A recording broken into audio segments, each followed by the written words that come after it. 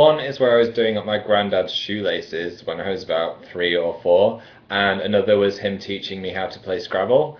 Um, and also, I remember when we first got a rabbit when I was about four as well, which was a house rabbit, and it was awesome. It was called Holly, and it lived in my dad's office and carried around teddy bears thinking they were his babies.